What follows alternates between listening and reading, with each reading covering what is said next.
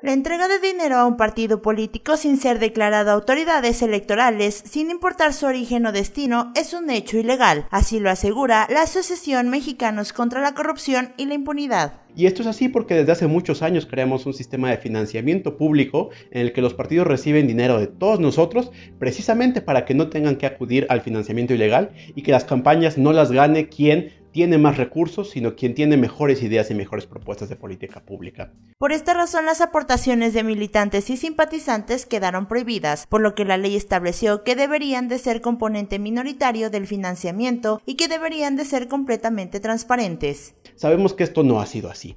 Una gran cantidad de partidos han participado en esquemas de desvío de recursos o de financiamiento ilegal que en su momento han sido sancionados por el INE, como amigos de Fox, Pemex Gate o recientemente el caso de la empresa fantasma Sismex que repartió recursos a todos los partidos políticos. En un estudio realizado por la asociación llamado Dinero bajo la mesa, se documentó que por cada peso que se ve en el gasto de campañas, hay 25 pesos que resultan ilegales. Pero el problema principal es que Morena ahora se une a esta lista de partidos y además trata de decirnos que esto es justificable, que un poquito de corrupción no importa porque es para un fin noble. Reportó para Canal 6 Cecilia González.